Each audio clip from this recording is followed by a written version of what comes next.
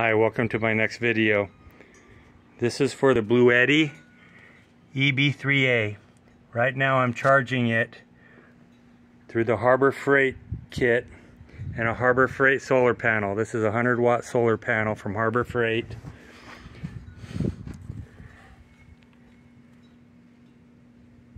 It's a Thunderbolt. It's got uh, um, a maximum output of 18 to 19 volts. This is the back side of the panel. Here's the wires. Now, there's a lot of confusion about doing this. This is the wire coming off of the panel right here. This is the extension wire um, that comes with the kit.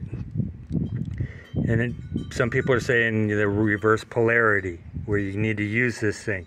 Now, if I put this end and connected it to here, it would be different. But you see how I have red to red here and black to black.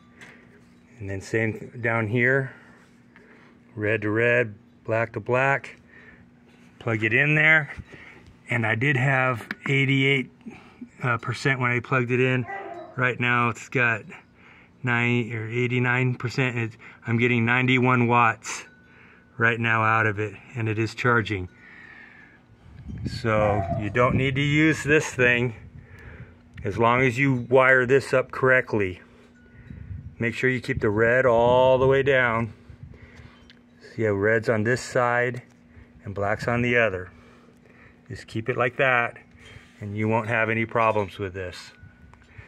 Give me a thumbs up if you like my video and subscribe if you want. Thanks, bye.